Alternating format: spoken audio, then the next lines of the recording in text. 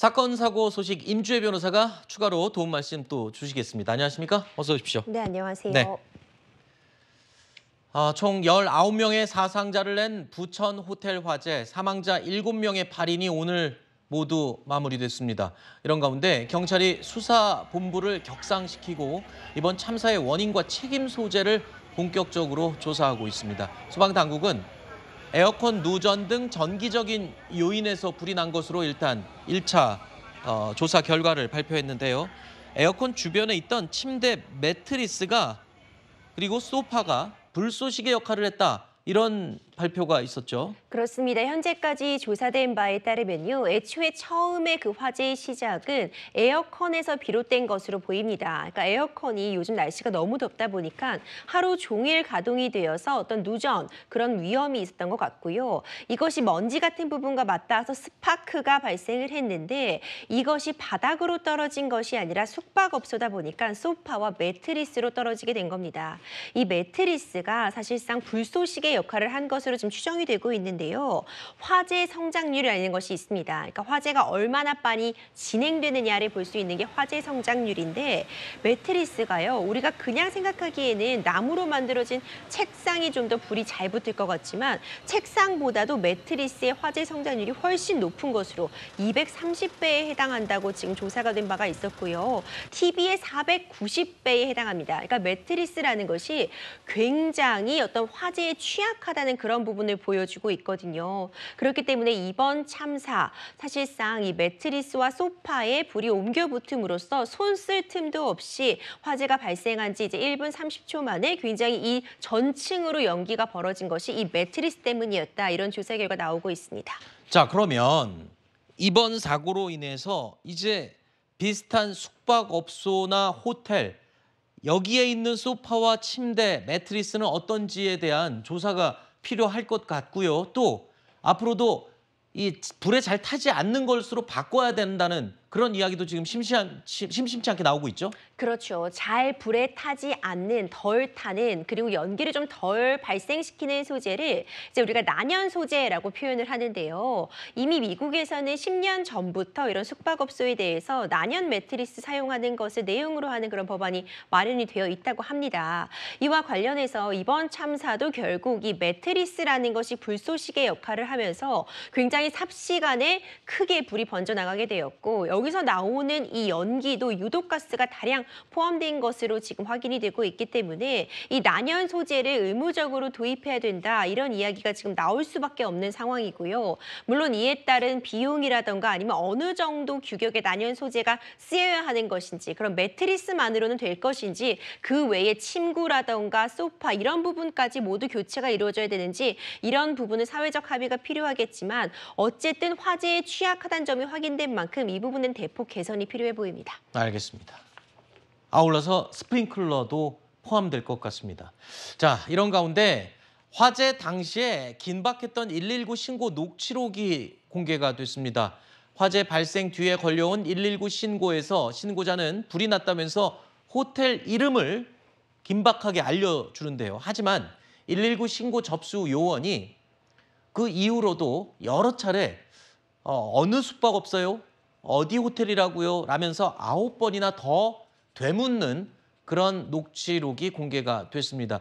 출동 지령을 내리고도 두 차례 더 호텔 이름을 다시 한번 확인했는데 글쎄요 이게 정확도를 따지려는 것이다 라고 할 수도 있겠지만 긴박하게 신고하는 사람 입장에서는 정말 속이 탈 수밖에 없는 그런 상황일 수도 있겠어요. 그렇습니다. 우리 채널 A에서도 사실은 정규 뉴스에서 저 통화 내용을 보도를 해서 저도 그 들었는데요. 들으면서 참 마음이 아프더라고요. 특히나 저 호텔 복도가 한 38초 만에 그 유독가스로 가득 찼다고 하지 않습니까? 그러면은 그 안에서 신고를 하던 피해자는 얼마나 절박한 상황이었겠습니까? 그래서 한 번에 정확하게 그 신고 내용이 인지가 돼서 저렇게 되묻는 상황이 없었더라면 하는 아쉬움이 크고요. 어, 저는 개인적으로는 이런 생각을 해봅니다. 요즘 AI 시대 아니겠습니까? 그러면은 보면은 저 119 그 신고 시스템과 뭔가 AI를 접목을 시켜서 AI가 그 신고자의 신고 음성을 인지를 하고 뭔가 동시에 그 신고를 접수받는 그 담당자가 보는 화면에 자동으로 소재 파악이 될 수 있도록 그렇게 좀 도움을 주고 그런 것들이 출동에도 연동이 되고 이렇게 하면은 저런 그 상황을 미연에 방지할 수 있, 지 않을까라는 생각을 해봤습니다. 알겠습니다. 우리 소방 당국에서 검토해 보면 좋을 것 같습니다. 그렇죠. 방금 말씀하신 것도 어, 요즘 웬만한 이 전자 장비에서 그 위치 추적도 자동으로 되고 신고한 사람의 위치 뭐 이런 게 자동으로 파악이 되는 걸로 알고 있는데 이 소방 신고 센터에도 이런 게 빨리 제대로 갖추어져서 급박한 상황에서 위치 설명하느라고 시간을 끌 수는 없겠지요. 이런 부- 부분도 좀 감안을 했으면 합니다. 여기에다가 119 요원이 신고자에게 대피하라며 대피 여부를 물어보는데 신고자는요 안타깝게도 어, 다른 내용을 언급하지 못하고 외마디 탄심만 반복했던 이런 통화 내용이 공개가 됐습니다. 그러면서 특별한 말을 하지 못하고 신음하면서 전화가 끊기던 이 장면 때문에 또 더욱 안타까움을 자아내고 있군요. 그러니까 통화를 자체를 이어가기가 어려웠던 아주 극박하고 힘든 상황이었던 것으로 추정이 돼요. 그렇죠. 너무 안타깝습니다. 이 내용을 보자면은 참 참담합니다. 그러니까 연기가 삽시간에 번졌다고 말씀을 드렸잖아요. 너무나도 긴박했습니다. 그러니까 신고 전화도 있었고 사실상 소방대원들의 출동도 굉장히 빨랐어요. 하지만 이제 사고를 어떤 생존율을 높이기 위해서는 골든 타임 일단 지켜줘야 되고요. 그다음 네. 골든 액션. 그러니까 딱 그 시점에 맞는 그런 구호 조치들이 이루어져야 되는데 이번 사고 같은 경우는 이랬더라면 한 안타까움이 참 많이 남는 것 같습니다. 스프링쿨러가 있었더라면 사다리차가 진입이 가능했더라면 에어매트가 제대로 작동했더라면 너무나도 많은 그 순간순간의 판단들이 좀 짙은 아쉬움을 남게 합니다. 네.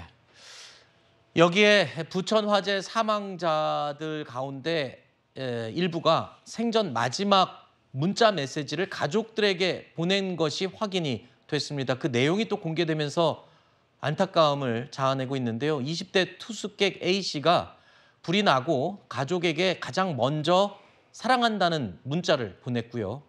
어, 그 뒤로 2분 뒤에 다시 위급한 상황을 알리기도 했습니다. 그 이후에는 마지막으로 사랑한다는 문자를 끝으로 어, 가족들은 이 아들을 떠나 보내야 했습니다. 이 내용까지 공개되면서 정말 많은 사람들이 안타까움을 금치 못하고 있습니다. 어, 일단은 아까 출동도 빨랐고 어, 모든 게 빨랐다고는 얘기하지만 이 화재 당시 CCTV 확인한 결과는 80초 만에 모든 이 복도가 연기로 꽉 찬 모습을 확인할 수 있었거든요. 불과 4분 5분 만에 출동은 했지만 그땐 이미 연기로 꽉 찬 상황이었을 거라고 지금 어, 추정이 되는 상황입니다. 부천 이 호텔 화재 수사본부에서는 업무상 과실치상 등의 혐의로 호텔 업주 등 두 명을 형사 입건하고 출국 금지 조치를 했습니다. 뛰어내린 두 명을 살리지 못한 에어매트 논란도 지금 쟁점이 되고 있습니다. 소방에서 지금 규정하고 있는 지금 에어매트에 대한 부분은 거기서도 15m 이하만 사용하도록 되어 있어요. 뛰어내리지 말라라고 하는 것보다는 안전성이 확보되지 않기 때문에 않- 에어매트에서 뛰어내렸을 때 가장 생존할 확률이 높은 정도의 층이 4층에서 5층까지라고 보시면 될것 그러니까 같아요. 저층 이번 사고에서 이 부분이 또 굉장히 안타까움을 자아냈던 부분인데 어, 살릴 수도 있었던 것 같은데 이 두 명이 안타깝게도 목숨을 잃었어요. 그런데 지금 이게 헷갈립니다. 구조 장비가 아닌 보조 장비로 에어매트가 분류돼 있었다. 그게 무슨 말입니까? 그러니까 에어매트라는 것이 화재를 진압하고 구조하는 과정에서 사용되는 장비는 맞습니다. 네. 하지만 어떤 구조의 어떤 본질이 되는 그런 장비가 아니라요. 어디까지나 보조 장비로서 활용이 돼야 된다는 뜻이었다는 거죠.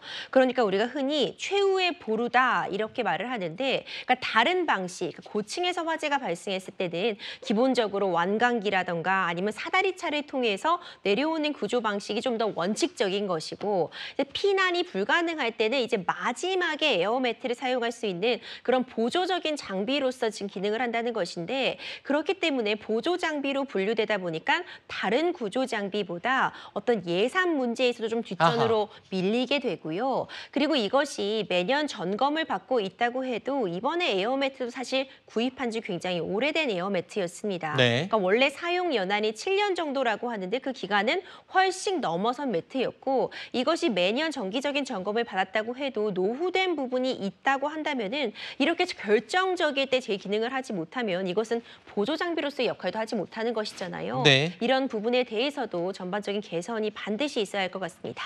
자, 이 부분 진짜 명심하셔야겠습니다. 이 어, 행정 관련 이 부분에 계시는 분들 보조 장비로 분류가 되면서 예산이 0.5%밖에 배당이 안 된다고 합니다. 그러니까 낡은 장비를 가지고 있을 수밖에 없었다는데 아, 아낄 게 따로 있죠. 보조 장비든 이 구조 장비든 국민의 생명을 다루는 일에 있어서는 예산을 아끼지 말아야겠습니다. 이 부분 이번을 계기로 뭔가 좀 총체적으로 어, 소방 장비에 대한 부분도 일제 점검을 해서 예산 문제, 돈 때문에 사람을 살릴 수 없었다 이런 어처구니 없는 일은 없어야 하겠습니다. 자 그리고 또 기적적으로 생존한 투숙객의 사연도 전해지고 있는데요. 이 부분 여러분 잘 들으셔야겠습니다. 객실 탈출이 쉽지 않은 상태에서 이 투숙객은 화장실로 대피해서 물을 틀어놓고 버티다가 목숨을 건질 수 있었는데요. 화면 잠깐, 보시죠.